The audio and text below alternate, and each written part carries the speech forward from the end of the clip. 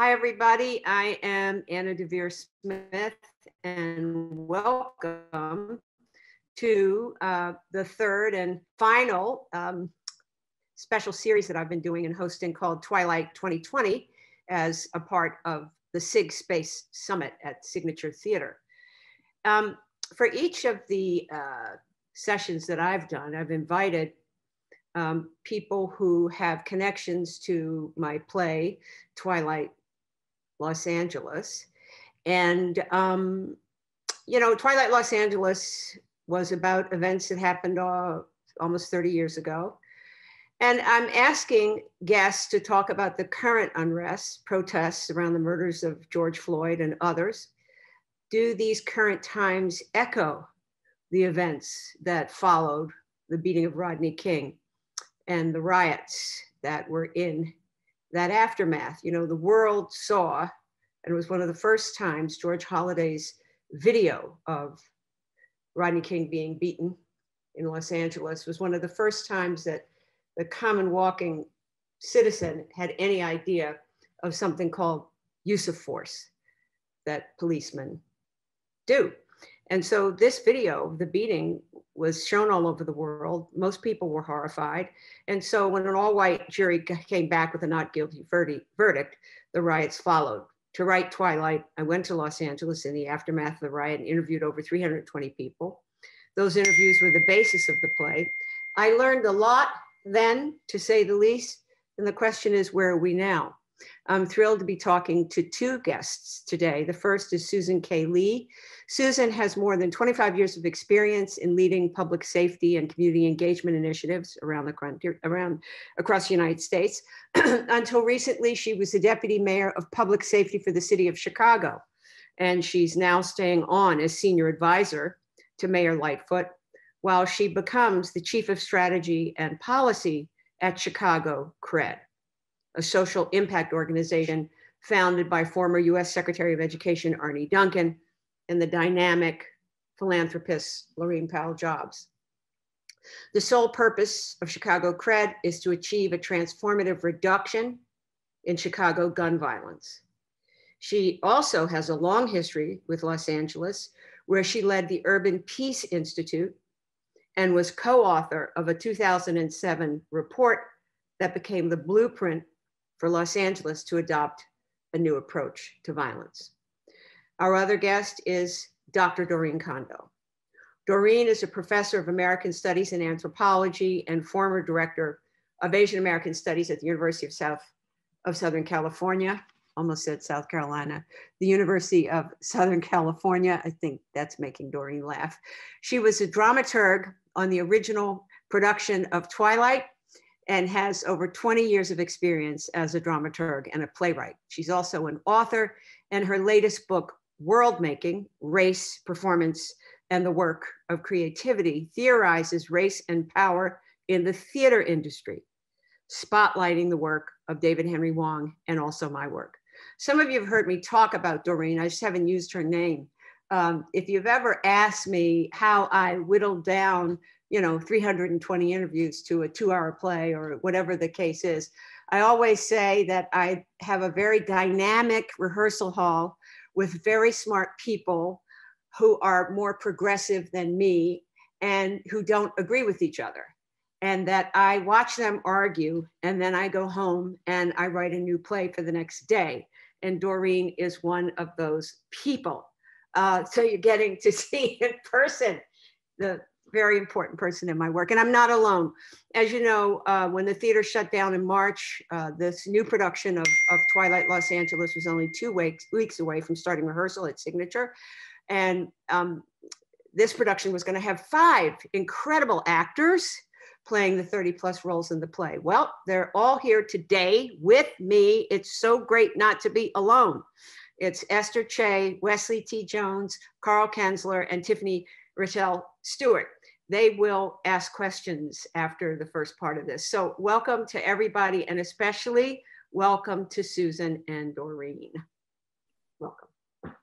Um, you know, uh, one of the opportunities that I had in researching and writing Twilight was to disorient my own lifelong understanding of race, having grown up on the East Coast in a de facto segregated town, Baltimore, and having gone to college with the uh, rise of the Black Panther Party and also, you know, throughout my life, the civil rights movement. And in that way, thinking about race as a Black and white phenomenon. And to come to Los Angeles after that riot was an explosion for me in terms of the presence, in particular, of the Latinx community, which was very diverse in and of itself, and of course, the Korean American community.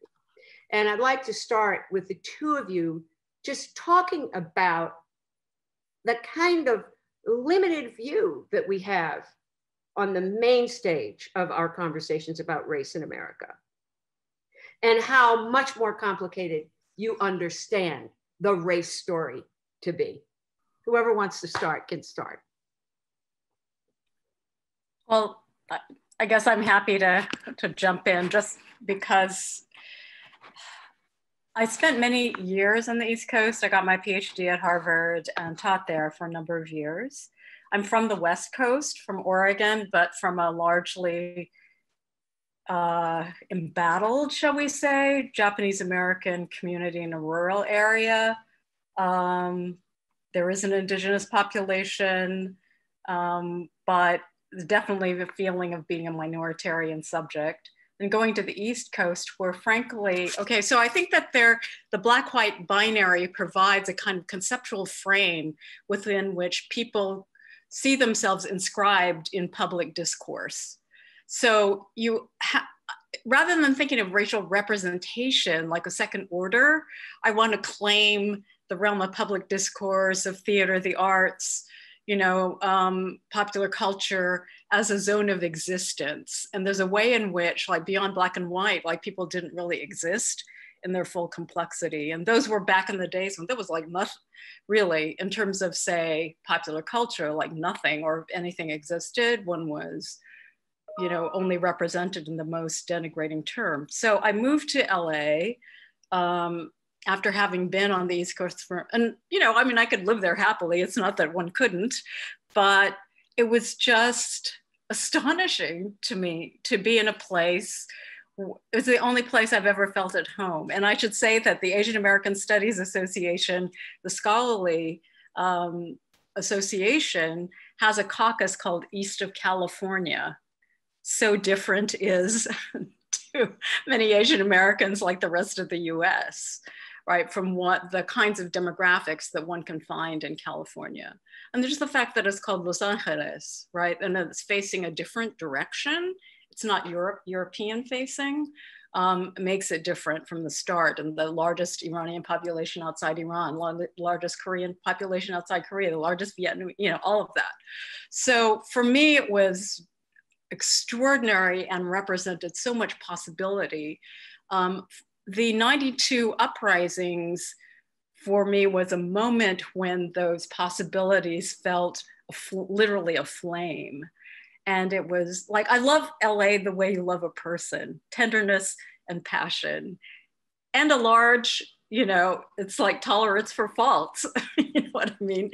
Racism is everywhere, you know, so on and so forth. Um, economic disparity, but it was like, you know, holding the broken body of someone you love in a way. That's the way it felt. It was so, it was devastating. So to be invited to, you know, participate in um, Anna's important work was, you know, incredibly exciting, but it also felt like an enormous respons- responsibility and so much like a lifetime of exclusion and pain and so on and so forth brought to bear on this. It's like someone was going to listen we could trust, right? To bring it, but that kind of passion, I felt like my life depended on it. I can just say that. So it was. I want to come back to that, but I want to quickly say before I ask Susan to respond, you know, this idea of Los Angeles and mm-hmm. it, our friend, well, we both know Baba, you know, he, oh, he yes. mentions that, you know, and we call it LA. Right. You know, right there. Right. Right. Right. right. right. We get, we take away. Right. right. Um, so Susan, how, how do you think about that? and also, I mean, now with you being in this hotbed of a urban yes. area in Chicago. Where race politics is quite uh, different than in LA for sure. Um, so, you know, I was a grad student when the 92 civil unrest happened. And prior to that, I was very much into being Korean um, and actually worked on Korean political prisoner issues for a long time. And then, really, the events around the beating of Rodney King, the trial, the, um, the civil unrest, and the uprising sort of really woke me up to a different kind of racial um, identity, configuration, recognition of structural racism as mm. everyday reality um, in America. And you know, as much as it was about those white officers beating a black man, um, the the events of 92 came to be known as the Black Korean conflict, um, mm-hmm. which to me was very much a, a, simplification of all of the realities that we were seeing represented in the events of 92 and and so that sparked me to really become a social justice racial equity advocate for the next 30 years and continue to work in the community primarily in the latinx community um, in the immigrant community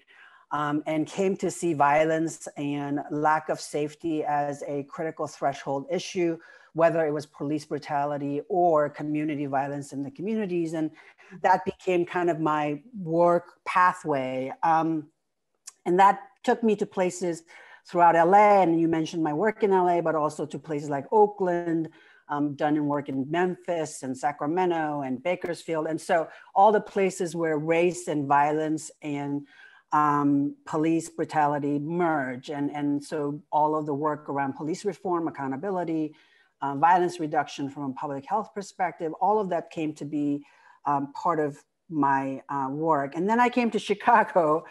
Um, and I think, you know, you can imagine during a year like 2020, uh, none other like this year, really, and the convergence of three crises around COVID, the pandemic, um, the murder of George Floyd, and the great um, recognition of the need for uh, police reform and accountability and then obviously the spike in violence that many urban centers were seeing um, and and being in government faced with those crises and having to triage every day the hundreds of protests that were going on while also being mindful of the need for police reform and managing covid um, i think is something that i just did not anticipate ever happening and challenging me in ways around race um, in, in two very important ways. One really is um, that COVID accentuates the ways in which racism and racial systems have oppressed folks because it's not by um, accident that more Black and Brown people have contracted and died from the disease. And it's also not by accident that more Black and Brown people die from gun violence or are treated brutally by the police. And so these are convergences of systems inequity in our lives. The other thing I will say, though, being in that position of the mayor's representative on public safety, my own Asian Americanness um, comes comes to fore because every time I walk into a room, I am challenged by folks saying, "What does a short Asian woman know about public safety in Chicago or anywhere really? Um, what, is, what could she possibly know of the plight of the Black and Brown?" mostly men, but communities overall. And so the delegitimizing um, fact that happens um, is, part of this experience that we're going through. And it feels not good. Um, it feels like we are not confronting the way things could, an imagining of a different way of looking at this. But that, that has been my reality for the last at least year and a half, but probably longer. You know, um, um, when you said the, this, that, that the uh, events in Los Angeles, that's what the politicians call it, the uprising, the riot, the unrest, um, you said that it became known as a Black Korean conflict. It reminds me of uh, my play about another riot uh, about Blacks and Jews in Crown Heights, Brooklyn, and a very smart Jewish woman who assessed, I thought it was very interesting. She said, you know, Blacks and Jews are always sort of playing out in a metaphoric way. the drama of race. They're the they are I see. they are the characters. Hmm. And the rest of the country watches. And when you say that about the Black Korean conflict, because of course the whole thing was so much, it was complex, and we think about the people who were deported. Um, but but but say a little bit about the Black Korean conflict and and and and and and during pop right into whenever you Yeah. want. Well, just go ahead, go ahead. just one quick thing because one interesting thing about that is that it's not a coeval it's not an equivalent category right so that korean it becomes a synecdoche for asian american to some extent so i recall in twilight trying to say well there are cambodians in long beach their businesses were also burned or how can that was when twilight was like three hours long in your own book. I think we had you know. was four hours. Oh, four hours right. Yeah. so yeah very long. So we're trying to like encompass all these perspectives but you know cambodians who had you know or vietnamese who had fled or you know those of us i'm sansei like third generation american right? So how do we so for me it's like seeing cultural possibility of flame. Of course korean american communities were incredibly hard hit the most hard hit amongst asian americans. So that makes sense. But it's very interesting and that did not happen actually in the current in the george floyd killings right? That became a very sort of multiracial um, issue at least in terms of the people protesting and so on and so forth. So it was quite different. I mean latasha harlins happened you know um, just right after our, the rodney king beating you know all of that so it became um, encapsulated in that kind of duality. And there were so many TV programs and so on that kept recirculating this binary. On the one hand, I suppose, I don't know, Susan, how you feel, but it, you know, it does draw attention to the, to a, a population that was, you know, disproportionately suffering. On the other hand, like, how do you feel about that vis-a-vis Asian Americans as a whole, and how how are we trying to, it, you know, at least pay some attention to that within Twilight, but maybe after a certain point it became unwieldy. So, I mean, the Black Korean construct, I think, was um, a code word really for some of class dynamics um, and certainly colonial history of Korea by US, um, which I think inculcated Korean immigrants with sense of a racial caste system that mm-hmm. they saw in the military mm-hmm. occupation that has happened for a long time. And so it, it, speaks to history of America in the world, but also the way in which different waves of immigrants have interacted with the African American community and increasingly now the Latinx community. And so I took pride in the most recent protests, the righteous protests that were going on, that it was very multi-generational and multiracial. Um, but as the deputy mayor, I also saw lots of folks um, showing up to provoke and to incite violence. Um, we had folks show up with frozen bottles of water and frozen bottles of urine and um, acid and you know um, things to throw at the cops to try to injure and provoke. And not everyone was being peaceful. And so, in the throes of calling for justice, you know, what do you do as somebody who's in a position of governing with that spectacle that is going on? Um, and the other thing that really was disheartening that I would say is that in Chicago, we did have targeting of Asian businesses by African American um, protesters that at times got violent. Um, and so while, um, you know, some of, you know, we have advanced because all the multiracial, multi-generational, I think, showing up in protest of the murder of George Floyd tells us that we are um, going bending towards the arc of justice. Yeah, yeah. But some of the other kinds of um, dynamics that we saw in '92 continues, Yeah. um, and we're not quite out of woods yet. And we have a president, you know, in this tapestry, in this pageant that we're in right now, who keeps calling uh, the pandemic the China virus. And so, you know, there's a concern and and Asian hate crimes. I mean, in, in this moment, in this big big pageant. Mhm. which is not helpful. You know, I want to make sure, Dorinne, that you say some things about theater in this moment, because of course, uh, your scholarship is very aware of uh, race in theater. And, and uh, what do you think about this moment when the theater itself, the stage, is a, a place of upheaval, the institutions are? Well, A, that it's in question or in upheaval is a good thing. I hope it's in upheaval enough. Um, because I think that often what happens is, you know, you see the theater website and Black Lives Matter, but really how deeply does that affirmation go? So that again and again, we've seen, you know, playwrights of color say, you know, repeat the different way levels at which they are excluded from different kinds of spaces. I think that is continuing. So this is why I think Anna, your work is so important because it addresses these difficult issues of race, class, power. You hired a very multiracial creative team and crew.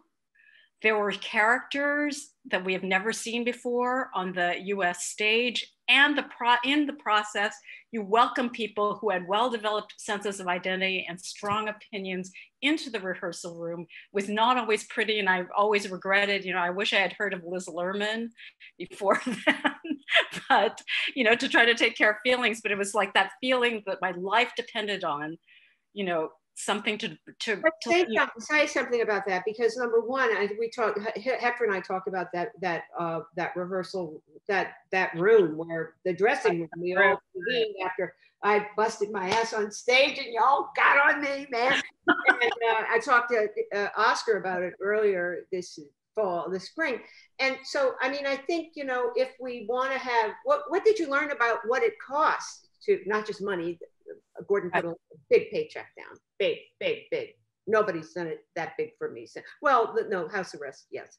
But what did you learn about the about being in that explosive room in terms of what it means to bring more in, basically?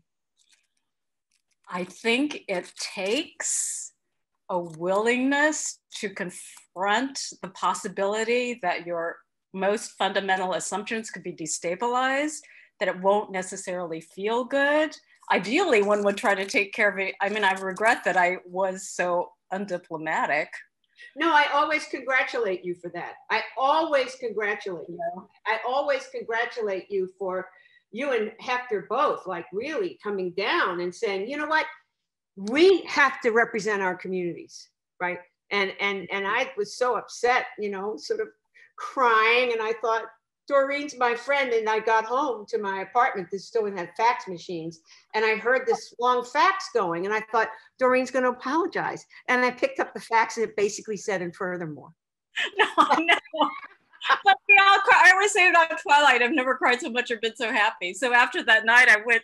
It was like I was like ready to cry, and I brushed past Oscar and didn't say anything because I was afraid I would start crying. I didn't want to cry in front of a big white guy, so I just ran ran away.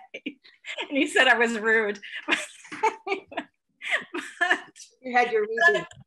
I think that it takes that kind of, you know, it's in fact it's because we believed in you, believed in the project, and you listened honestly. So it takes someone who can hear that, process it, and listen. And of course, you don't have to take all our notes, but ultimately, it's meant to bring to you the concerns of the individual dramaturg, but ideally of the community, right? So it's just it's you know it's meant not in a destructive way even though i'm sure it must have felt that way. It's it's my lifeblood Dorinne. it's, it's stephen wadsworth just uh, sent me oh, stephen! you know from our days with let me down. Um, you know i want to make sure i get to talk to you susan about violence. I mean you know here you are back there with connie rice not condoleezza rice but connie rice I mean, you're, you're, you're, you're looking at, at ways to get at peace in, in the Los Angeles community. Now you are, you know, you're not taking guns out of people's hands, but, you know, you sure would maybe like to, you know. I mean, talk to me about what you understand about violence. Of course, Twilight Los Angeles is a play, is full of violence. Yeah. Well, Connie, uh, one of my other mentors, along with Elaine, um, used to say that there is no freedom without freedom from violence and no rights unless you have right to safety. Um, and I think that's the premise with which I approach the work, and is to say that every person, particularly every child, um, deserves that right to safety and freedom from violence. And why is it that we can't seem to provide that? Um, and, and the reason is structural racism, is because um, communities have been for generations um, sort of occupied by hostile police um, and have the violence been generated as a result of disinvestment, lack of opportunities, where the um, subculture and unofficial economy is the only way to come up to have any resources. And so that has created these cycles of violence. And while you have decimated any kind of public health support systems to deal with the trauma, deal with um, education, deal with social services and health needs. And so, you know, the only way out of the violence, which is really a symptom of lots of other inequities that we are seeing, is to recreate a public health infrastructure um, within communities that allows for treatment of trauma but also opportunities and pathways um, that are alternative to this subculture um, alternative economies that people have come to depend on. That is not to say every person who is committing violence um, is deserving or wants a second chance. There are truly some folks who are, you know, who are doing bad things and there is an enforcement part of this that has to happen. But by far the majority, you know, there was a study in Chicago of young people in Chicago about why they carry guns. And and an overwhelming majority of them responded to this survey and said for self-protection.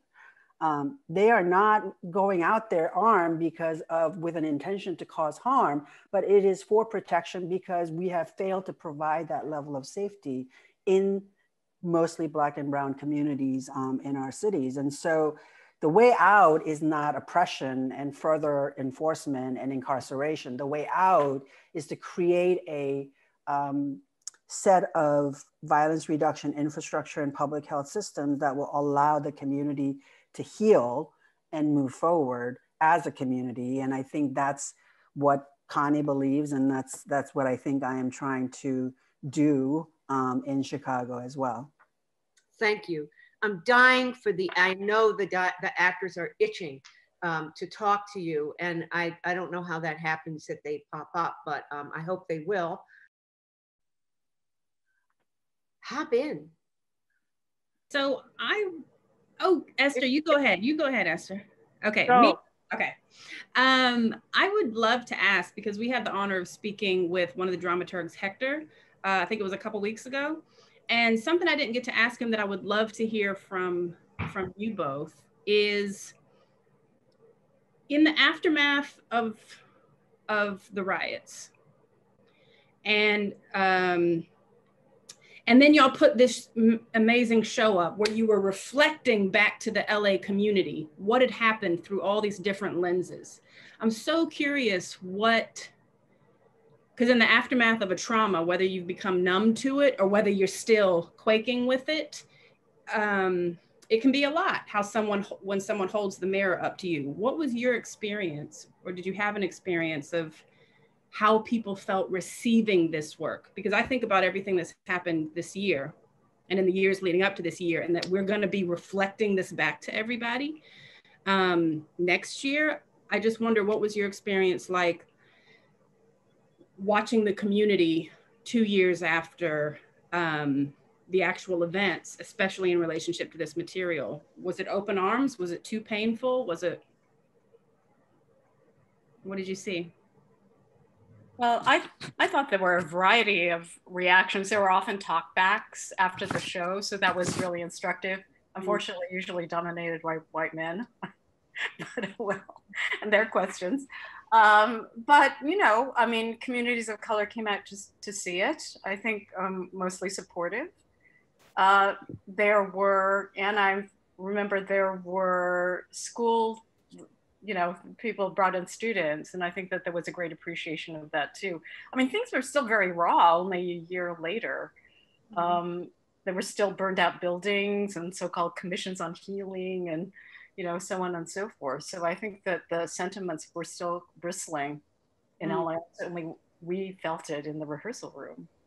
So and I think, uh, Susan, the, the question could be also, sorry, during pertinent to you because maybe Tiffany's question has to do with how do, and you're not an actor, but you're an activist and a, a government uh, person. How, how do we walk in the midst of trauma?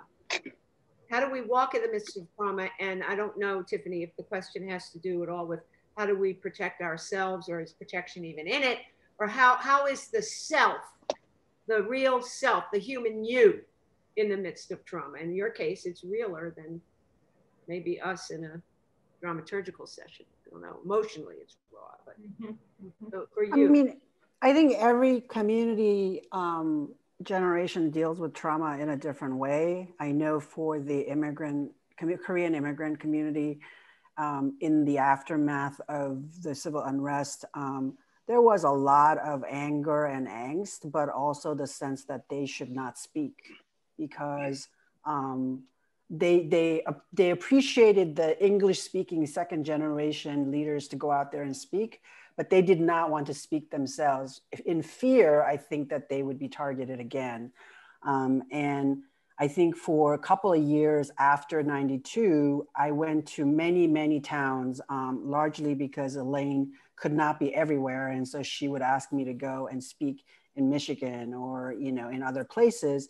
And I met lots of communities where um, the same thing happened, where white men would mostly talk, but there was a lot of anger also from African American communities like, what are you doing here?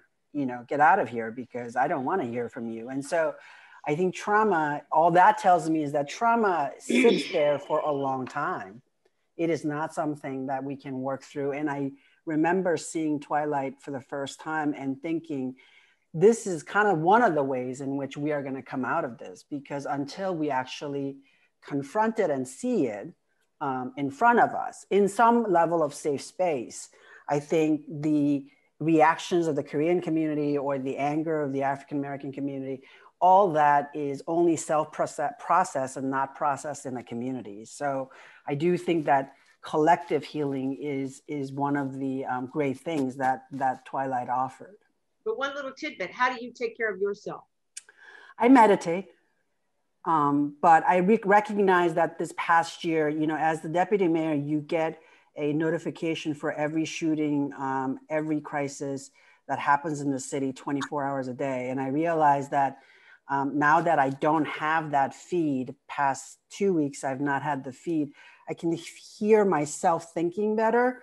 Um, so I know that my brain was um, to some degree vicarious trauma was going on because I can see that I am my husband says I laugh more in the last two weeks. And so I do think there is definitely um, trauma that we all go through and um, it, it, takes time to heal.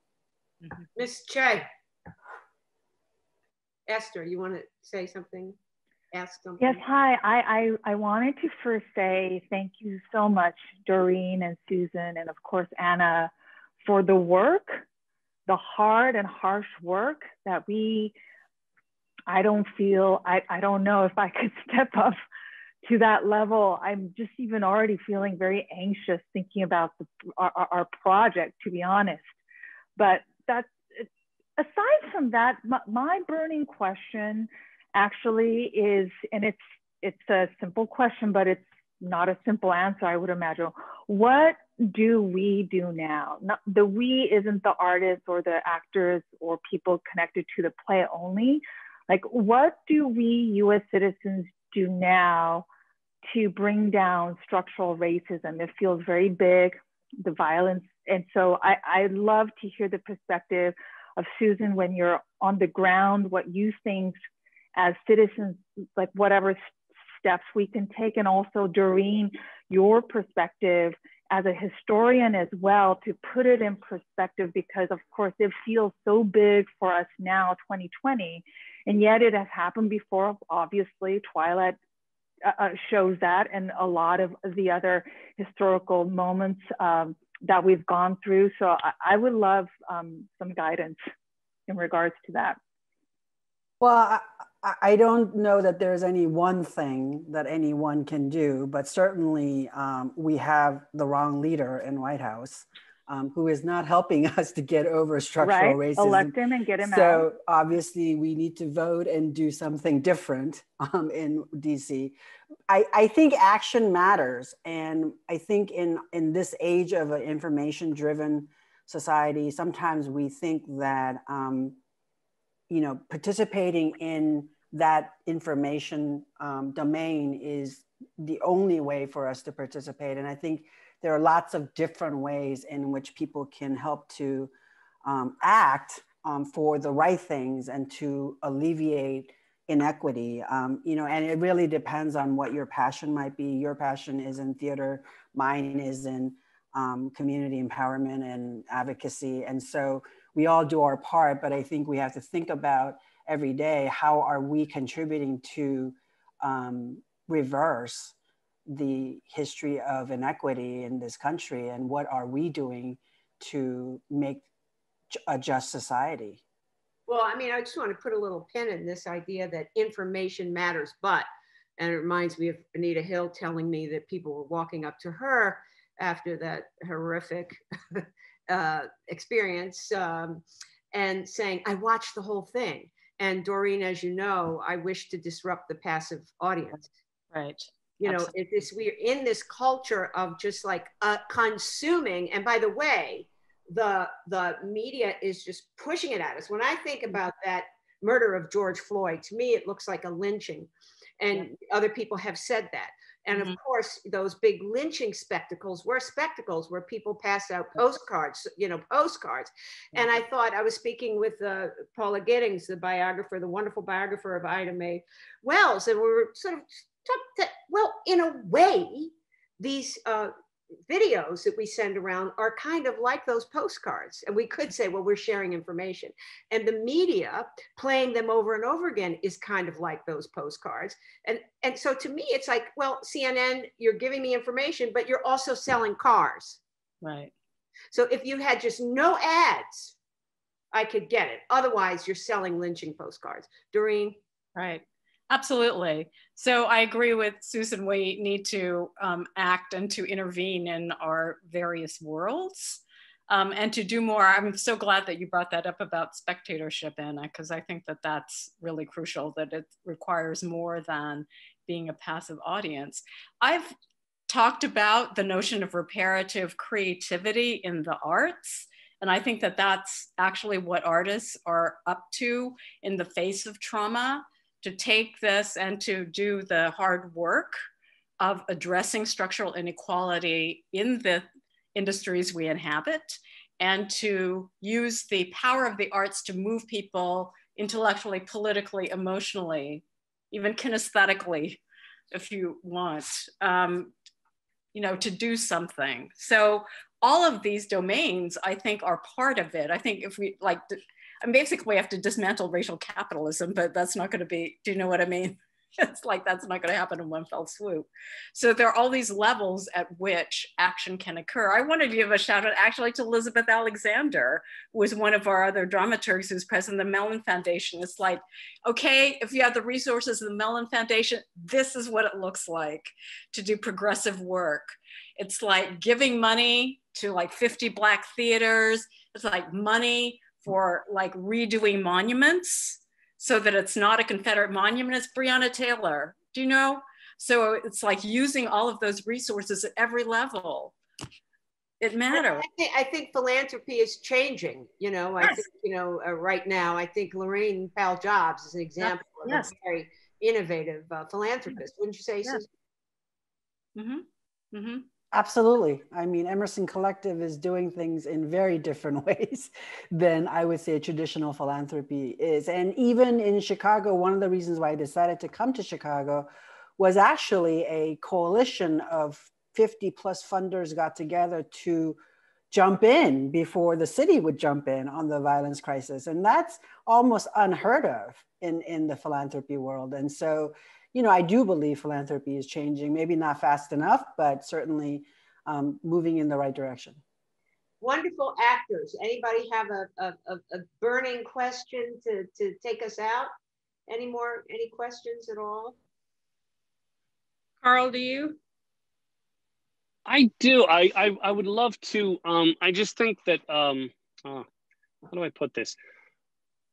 I think about when I first saw this play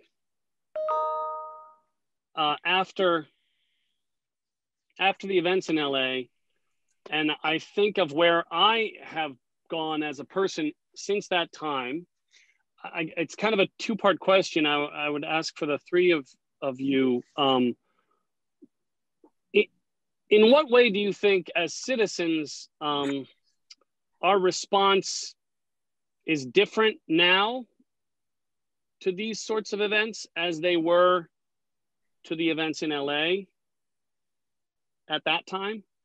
And in what way is our response as citizens like the same? Like in what what would you say is our biggest pitfall that maybe we're not we haven't changed Am I being clear? That's a fantastic question. Thank you. Ladies, ladies.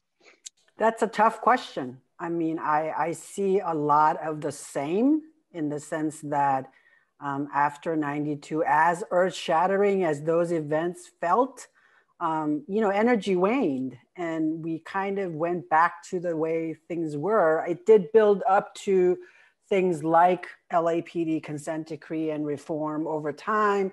It, it did lead to, you know, um, better recognition of what use of force, the use of video policy, like things did change, but did the world change in a, in a more equitable way, in a equally earth-shattering way? I would say no, which is why we had the murder of George Floyd and, you know, we had the Ferguson and, you know, Freddie Gray in Baltimore and, and all of that, right? So to me, it feels frustrating because I don't think the world has changed as much.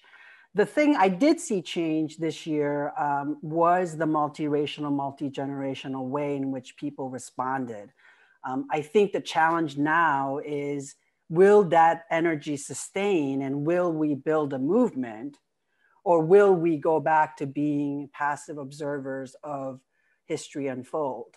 Um, I hope it's not the latter, but, and I hope this um, wonderful multiracial, multi-generational alliance that was built through protests will morph into a actionable um, movement, but I don't, I don't think we have seen that yet. So, you know, I would say more has stayed same than, than has changed, unfortunately.